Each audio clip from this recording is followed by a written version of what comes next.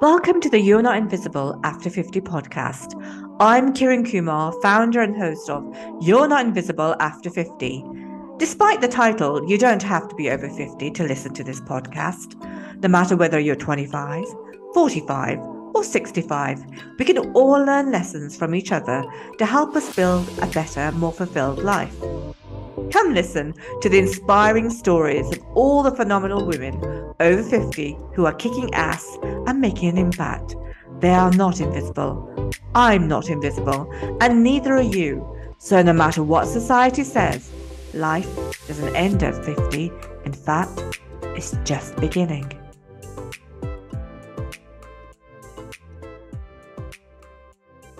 Welcome to the You're Not Invisible After 50 podcast. I'm Kiran and host of this podcast. We're all about showcasing phenomenal women over 50 who are kicking ass and making an impact. You'll get to hear all the inspiring stories while you don't have to be invisible after 50. So sit back and enjoy the wonderful life story from this week's guest.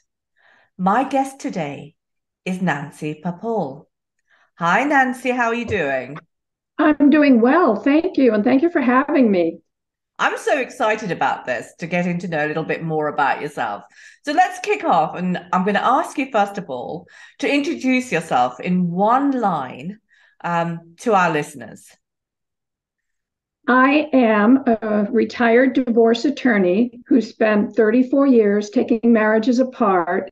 And in my retirement, I'm trying to keep them together by writing blogs and books about how to overcome those pauses in a relationship that keep you stuck in a place you don't want to be. That's actually an interesting stance. And of course, we're going to go into this in, in the body of this podcast. So let's talk about the, the podcast. Um, we're going to cover your life story. So we begin at the part in the past, then we'll talk about the present, what you're doing at the moment. Um, if there was a trigger around the 50 mark, um, and also what the future looks like. So let's kick off and let's start with anywhere you want to begin with regards to your past. But in any event, um, what, I initially became a nurse, uh, a critical care nurse, working in the emergency room and intensive care units. And I wrote a textbook with some people from the University of Pennsylvania I was practicing in Pennsylvania at a hospital then. And um, this textbook, Advanced Concepts in Clinical Nursing, was well regarded throughout the United States, incorporated into the curriculum of multiple nursing schools, and also many hospitals changed protocols for better patient outcomes, which is what we were after. But they didn't change any of the protocols that I was concerned about in the particular hospital that I was working at when I went to the administration and asked them why, because I had sent, you know, a, a, proposal, it was because I was a quote nurse. And at this hospital, only doctors are the ones who change the protocols. Uh, now, this was in the 70s, and it was very much still a v- very much male centric uh, medical world. And the mm-hmm. doctors were the one with the power. So I asked someone who had been um, a nurse before she became a lawyer and came to the hospital and administration to try to address the things that I was trying to address. So I asked her, How can I get them to listen to me? And she said, Become a lawyer, you'll have power. Wow. so I went to law school. I went to law school. I thought, you know, I would do some medical defense malpractice and then go back into administration as many women understand, in our because of our gender, life gets in the way. So um, what happened was I did do defense malpractice. And the first day on the job, it was an all male firm that I was hired into. And the first day on the job, there were 75 divorce files. I went to the senior partner and I said, You know, I'm not really interested in doing divorce. I'm going through one myself. I was hired to do defense malpractice.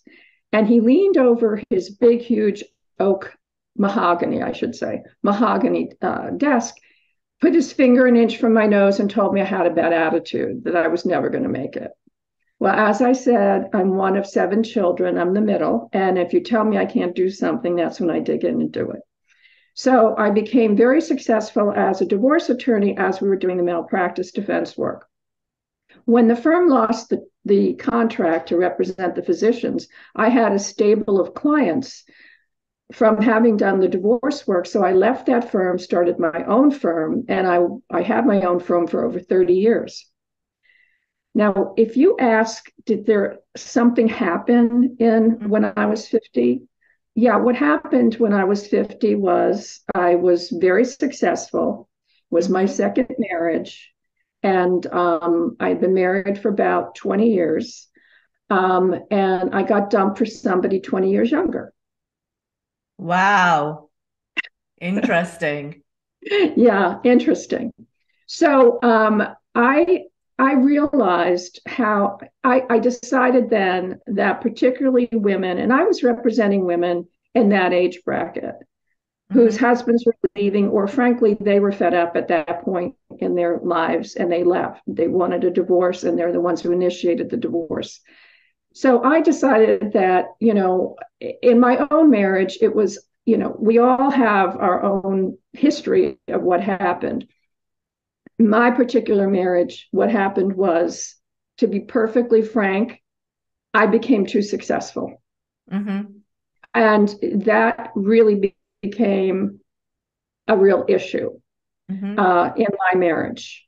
And there was no way I was going to crank it down uh, uh, to save a relationship when I was not valued in that relationship. And I only I felt like an ATM machine, and I I, I said I can't I can't do this, and so I left that relationship, um, and I just feel as if women who are in their 50s and in the United States, you know, you have a 50% chance of making it in your first marriage, 60% chance, uh, rather, the failure rate is 60% um, failure rate in second marriage and 70% failure rate in third marriages. Wow. And Interesting statistics. Yeah, that's, that's our statistic. That's not in the UK, but that's our statistics. I think we're the third in the world for in terms of the number of divorces. But in any event, um, I just feel very passionate now that I have the time to think about what really is the number one cause of divorce? Mm-hmm. And other podcasters have asked me that. What's the number one cause of divorce? And I've been researching relationships for over, you know, for 30 years, trying to help my clients, you know, get out of um, the mindset that this is a failure or this is the end. And I came to the conclusion that the number one reason or cause of divorce, and I will say this, I as I said, I've researched this. Mm-hmm. So I don't think it's it's singular to the United States. I think broadly what happens is it's not infidelity, it's not sex, it's not money. It's being mismatched in the very beginning. It's not asking the right questions it's not really completely vetting the person that you think you're going to spend the rest of, the, of your life with. How is it that they, you know, what are their spending habits? Do they agree that you should have an emergency fund? Do they agree that in the United States right now there's a big bone of contention about Social Security and Medicare? Mm-hmm. I lived in the UK for three years, so I know that you have national health insurance. And that's one huge safety net. Mm-hmm. But in the United States, there may not be a huge safety net when these 20 and 30 and 40 year olds are, are 65 or 70 years old. So, what is your, your view? I mean, sure, we're in love, you know, we can't keep our hands off of each other, everything's hunky dory now. And that's the problem. Um, I don't want to go too deep in the woods about the chemical in your brain, which is dopamine. And dopamine, most of your listeners probably have heard this. Dopamine, it lights up the same area of the brain as cocaine. Okay. And so you are so high on dopamine, which only lasts 18 to 24 months. And oh, when that's Yes, yes, you can Google it.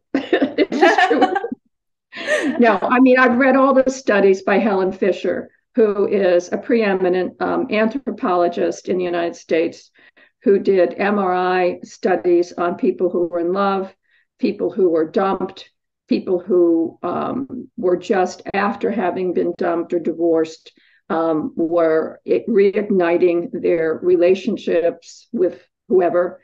And um, she is the preeminent person, I think, in the world about the dopamine, the serotonin, and the oxytocin. Those are the three stages that you go through. But so many people are longing for love that they overlook the red flags, they mm-hmm. overlook the warnings. And so that's that's my mission. I'm trying. Um, I've written a novel which addresses this in novel form. It's called Around Which All Things Bend. Mm-hmm. And love, of course, is the thing around which all things bend. It's on Amazon because we've, we've kind of moved on very fast. Um, so I want to kind of go back to the past in terms of becoming a um, a nurse and then becoming a lawyer, which was a huge step forward. And then moving from thinking that you were going to do malpractice in terms of um, in the medical field, you were going to then you actually then moved into divorce, dealing with divorces.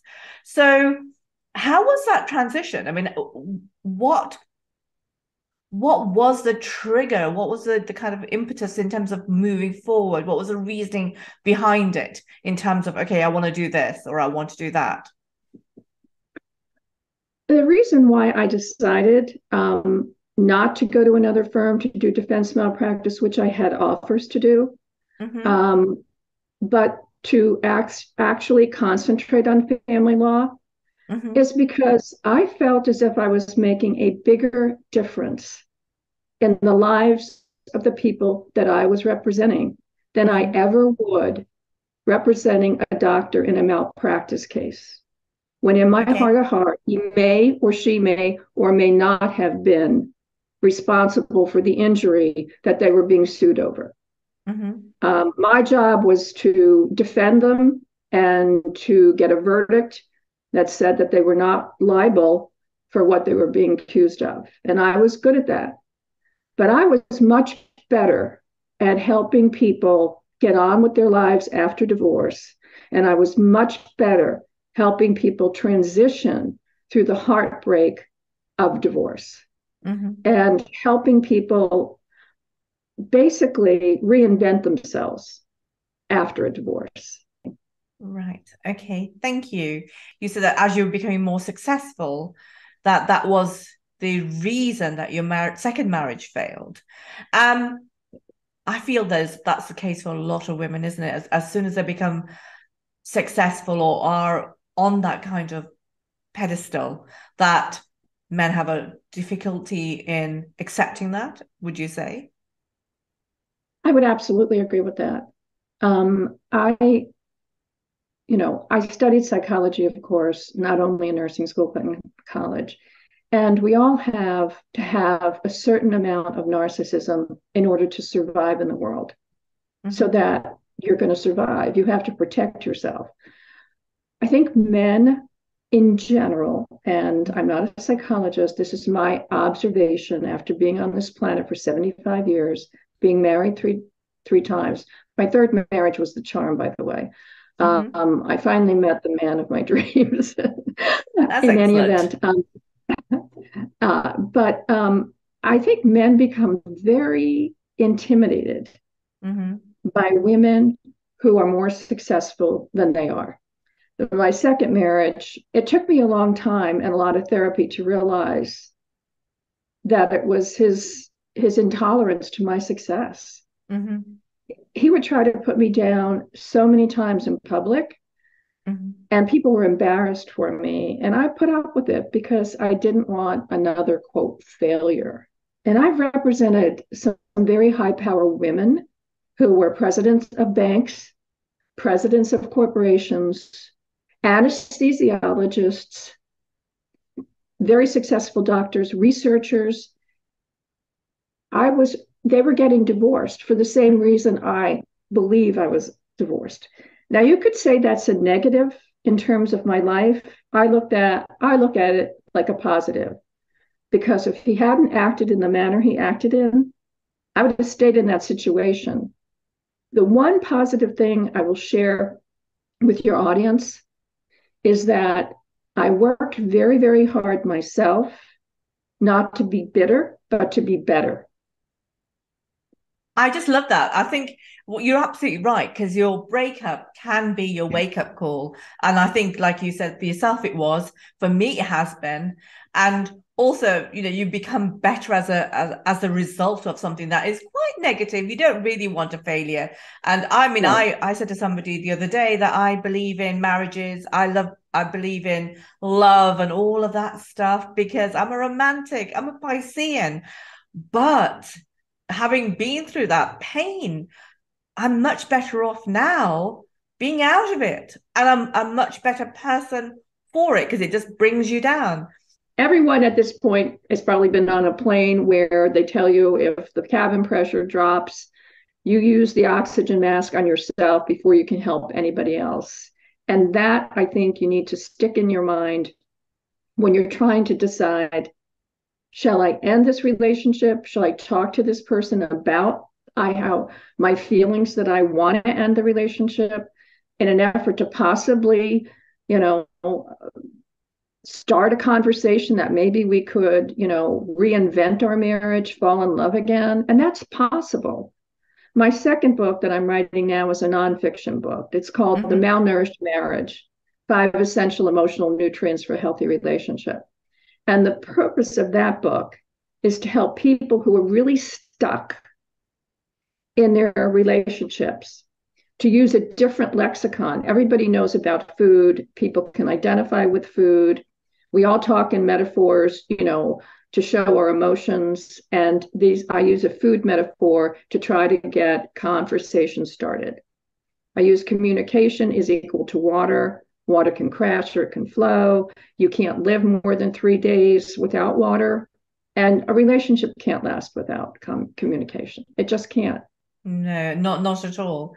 So it's interesting. So from being a divorce lawyer to now we move into the present where you're actually doing the opposite. You're trying to keep marriages together. So yes. where did the switch come in? Where how did that happen? Uh, you know, I'm so glad that you asked me this. A lot a lot of podcasters hosts don't aren't as insightful. The switch came in about 10 years before I retired. Um, and a young man came into my office for a divorce consult, a very attractive young man in his early 30s. And I'm taking, you know, his name is, uh, you, know, you have to take background information. And he said, You don't recognize me, do you? You don't remember me. And I said, No, I'm terribly sorry. I don't. Mm-hmm. He said, You represented my mother in the custody case when my father tried to get custody of me. I looked at him and I thought, when does this cycle end? You know, and, and the research is mm-hmm. that children of divorce have like an 85% higher rate of getting divorced because wow. they yes they haven't and that's that's not only in the united states that's in the uk canada um, i did a podcast in new zealand i mean you know, it, it's children of divorce who have not learned how to problem solve, mm-hmm. how to resolve disputes, who mm-hmm. have heard, who have cringed in their bed listening to the parents argue or throw things. They're they're going to bugger out of their relationship because they don't know how to resolve disputes. Mm-hmm.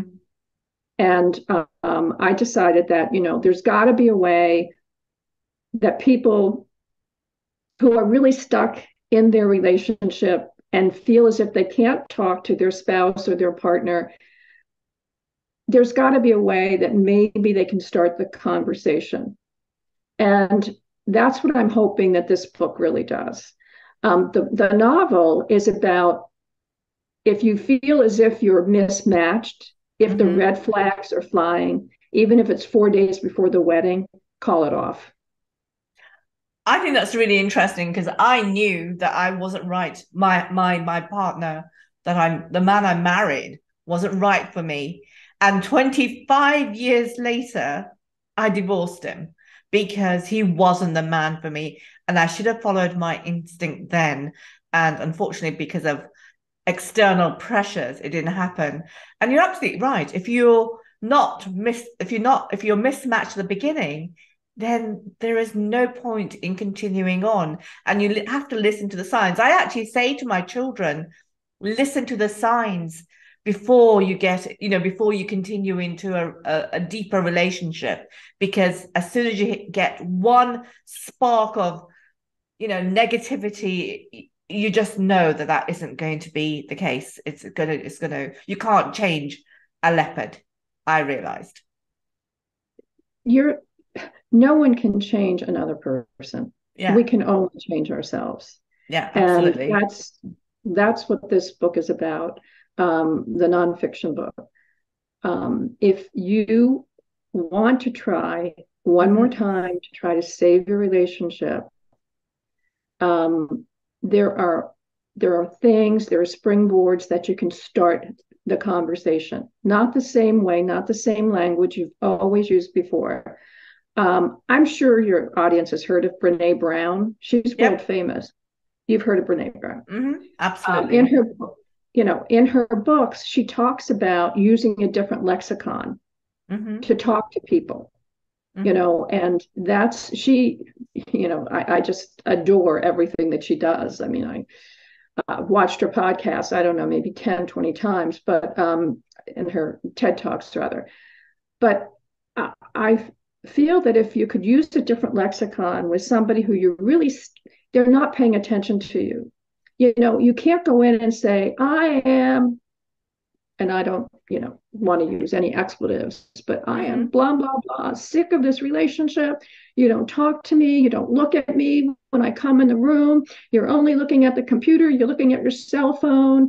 You're always late, you know, blah. They're not going to hear you. They are not going to hear you. They might as well have earmuffs on. But if you could approach it in a way that even if they're looking at their cell phone and you want to do a conversational gambit to try to see if there's any use in you wasting your precious breath. Hey, you know what? Our relationship is so dehydrated. Mm-hmm. Do you know what? Yeah. I mean, if you look at communication like water, I think we're both really thirsty, aren't we?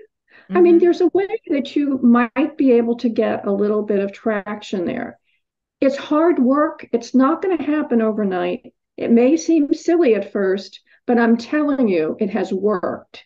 Um, I have a website, Nancy Perpall, P E R P A L L dot com, lots of blogs on there. I did a series on the on the malnourished marriage five essential emotional nutrients.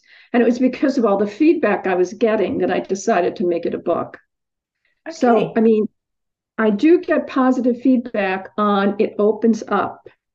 It mm-hmm. opens up some communication. And without communication everything else fails. Okay. And the nonfiction book is out when? Is that in the work um, in progress it well, it's probably late fall 2023. Um, okay. That's my goal. All right. And that sounds really, really good. So, can you just give a, again a little bit more about that nonfiction book that you're doing or you're writing? Okay, the nonfiction book, the Ma- the malnourished marriage, talks about um, communication is water, protein is sex. Protein, mm-hmm. everyone knows, is the building block of the body, right? Mm-hmm. Mm-hmm. Sex is the building block of a relationship, right? Mm-hmm. Um, then I talk about trust. Uh, and I talk about trust being like a, a multivitamin because mm-hmm. if you're missing things, your nutrients, you need a supplement. And trust is really the supplement that keeps a relationship together. And then I talk about humor every single relationship has to have humor, and that's like carbohydrate. Mm-hmm. So I talk about all of these things in terms of how to incorporate them into your marriage as if you were going on a healthy diet. Wow, interesting concept. Absolutely interesting concept. So, what that actually stick would stick in your head, right, in terms of how to make your marriage work, and that's what you're aiming for. I also use an analogy. If you're a severe diabetic, you mm-hmm. have to restrict things. Yeah, and absolutely. if you if if your marriage is like really fragile, you know, and it's it's like a, being a fragile diabetic, then you can't do the screaming and shouting like you you might be normally communicating. Um, you can't do you know the turning away or the cold shoulder or the withdrawal that you may have been in a habit of doing and that's what i try to get to in this book how to break down those those barriers those invisible walls that we erect between ourselves and people who are hurting us we, you know, if you got on a plane and the pilot announced you have a 50% chance of reaching your just destination, would you, what would you do? I wouldn't get on the plane, to be honest. Well, you have a 50% chance of having a successful marriage, mm-hmm. but we do it anyway. You understand? Everyone yeah. knows that marriages can break down in every country, on every continent, I don't care where you are, I have represented every color and creed there is.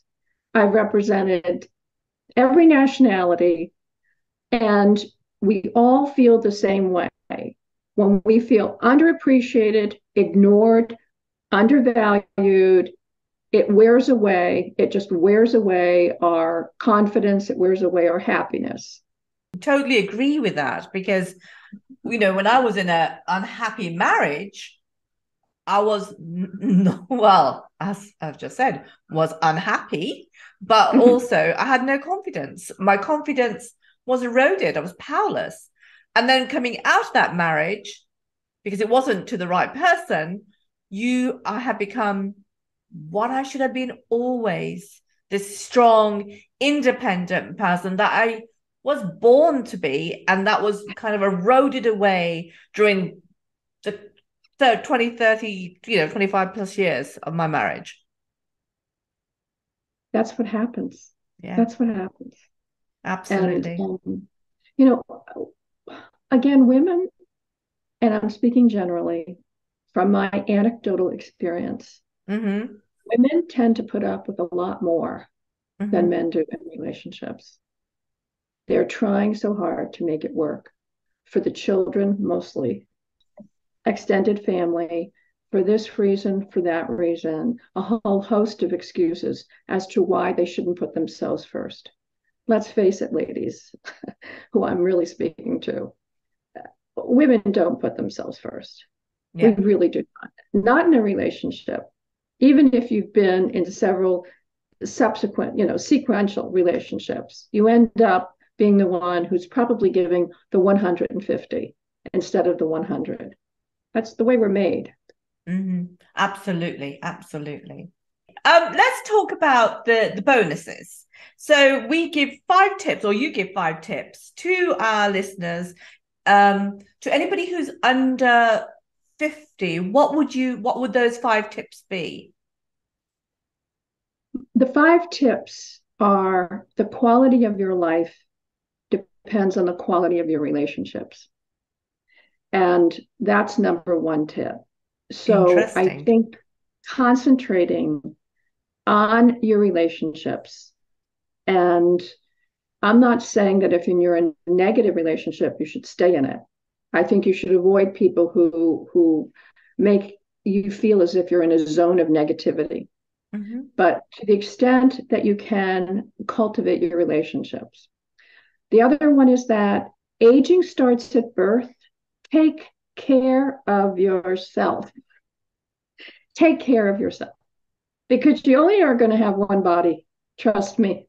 You know, um, I'd have, you know, I've always taken care of myself physically. And, um, you know, I'm in very good health for my age. What I would recommend, even though I like my wine, you know, really be careful with the alcohol Mm-hmm. Be careful with alcohol. I mean, alcohol has caused so many the the the end of so many relationships um, because people say things. People say, well, there's an old wives' myth that you tell the truth when you're drunk, but a lot of times it's not the truth about the person that's in front of you. It's truth about what your background was, what your history was, who you were angry with when you were three years old. Mm-hmm. And, mm-hmm. you know, all of those defenses are broken down. So, my advice is if you're going to go out for a night and really have a few, don't get into an argument with someone you love. It, it, it's it's going to devolve into something you can't take anything back. And again, this is the concept of you know a healthy diet.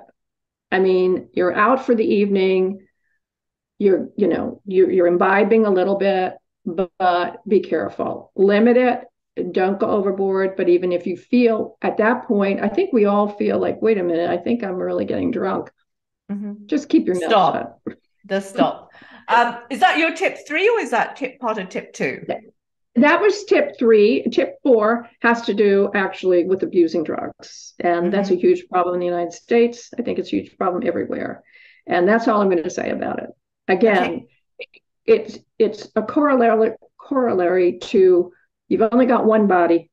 Mm-hmm. You start aging at birth, and mm-hmm. really, in the name of all that's holy, please do not. The recreational drugs are out of control, and I'm just saying, stay away from them. They're not going to do you a favor. And the fourth one is get an education, whatever your passion is. Mm-hmm. Do something that you're passionate about, even if people who are your parents or friends don't agree with what you're pursuing. So that's my tip five. Oh, you said tip four, but that's tip five. Okay. Oh, I'm sorry. Tip four yeah. was don't abuse drugs. Okay. And tip five was? Yeah. Okay. Fabulous. And what about the three tips you'd give to anybody who's over 50 and listening? Um, I think the biggest one that I would say, and this is based upon a Harvard study that was done in the United States over a series of like 30 years, um, you really loneliness kills. Loneliness mm-hmm. is can can be toxic to your emotional and physical health. And this again is a tandem to what I said earlier. It's all about staying healthy, the, the quality of your life after 50 very much depends even more so on the quality of your relationships. So, as I said, you know, I am really a social social media phobic, but I am I'm going out there. I am on social media. I'm on Facebook. I'm on Instagram. I have a website. None of which I really want. But if I were just sitting in my study, just with my study doing podcast, I'd be nowhere.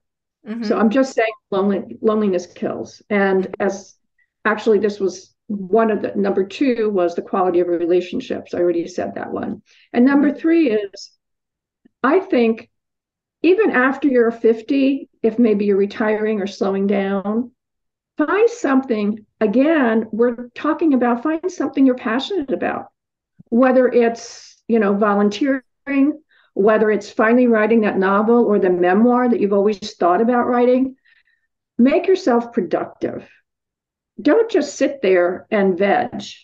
You know, I think it's, I think I think that's really true because I think the narrative and the kind of societal societal narrative is that you know as you're over 50 you're retiring. You look at the images it's of people who are really old at 50 plus. But i'm 59 i don't see myself as that.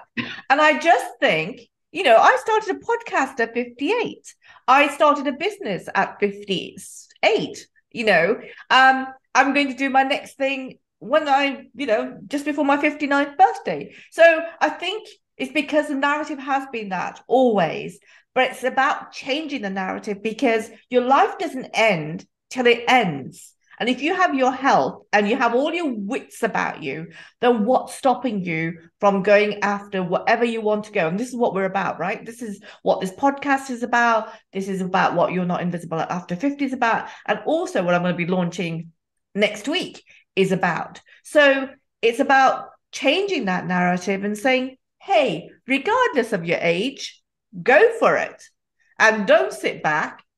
It's a choice It's a choice. If you want to sit back, that's fine. But if you want to do something, here's the permission. Here's your permission to do it now. I absolutely. I I can't imagine having lost um, the desire to get up in the morning and be productive. I think I'd be, you know, being on the golf course didn't do it for me every day. Yeah. And mm-hmm. I did try that, by the way, but it didn't do it for me. I still felt as if I had something to contribute. And each and every one of us has something to contribute. And each and every one of us has a story. And if you're 50, perhaps you have a child or children or even grandchildren, and they deserve to know your story. So even if you don't think you want to publish it, I highly recommend that people start to write what their passion in life. How, where did they? How did they get? Just like what you're doing, just what you're doing now. Pretend you're in this podcast. Write about what was your background, what was your history, what motivated you. What do you think in your personality that kept driving you forward when people were pushing you back? And trust me, I was pushed back all the time when I first entered that courtroom. Mm-hmm. I was called names that I won't repeat. I was given such a hard time. Um, you know, yeah. I don't even want to go into it. But again, I'm the middle of seven kids, and I learned, you know, I learned at daddy's knee to push back, mm-hmm. but because I was a girl, I had to do it in a certain different way than a mm-hmm. male would have done it. But in any event, um, I think life is too short. This is not the dress rehearsal. This is it. This is absolutely. It. And it's interesting what you just said, Nancy, because um, on the reflection, what I've just said, in terms of you know going for it writing things down because this is what we're about i mean if when we when you know when anybody goes that's it it's lost all those lessons that you've learned, all the stories that you've got to tell, they're all gone. Whereas if they're captured in some format, it's for the next generation. And really, this is one of the reasons why I'm doing what I'm doing is that I want to change the narrative for other people are coming up behind me. Because as you said, you're aging from birth. People think that as you age, you age when you're 50. But hang on a minute, you age from the day you were born. And you even if you're 48 today, you're going to be 50 in two years' time, right? So that's what it's about. yes, absolutely. Yeah, it's about this podcast. Thank you. It is. It's about this podcast and the, the change that we're going to have in the future for other people coming up behind us. That's what it's all about. And this is the way we capture people's women's voices so that we educate and support women who are coming up and as I said, behind us. Well, thank you very much. I always oh, been oh, a proponent of women. I've always been a mentor and proponent of women. I feel very passionately that women truly, I mean, if we were in charge of the world, there would be no war in Ukraine. There would be no Brexit. There wouldn't be half of the problems we have, you know. But in any event. Well, so, who knows what's going to come in the future? We're hoping oh, to change. yeah, absolutely, in the positive way. Well, thank you very much for your time today, and thank you for your insight and giving us, you know, a view of relationships. So, thank you very much, Nancy, for your time. Well, it was a Total pleasure. I very enjoyed chatting with you. Thank you. Thank you for listening to the You Are Not Invisible After 50 podcast. If you want to hear more from some amazing women over 50 who are kicking ass and making impact, then don't forget to subscribe to our podcast available on Apple Podcasts or Spotify. Remember to rate, comment, and share with other fabulous women and together, let's change the narrative that you don't have to be invisible no matter how old you are. Check out our other services on www.you'renotinvisibleafter50.com and follow us on Instagram, Facebook, LinkedIn, and TikTok. And always remember that life doesn't have to end at 50. In fact, it's just beginning.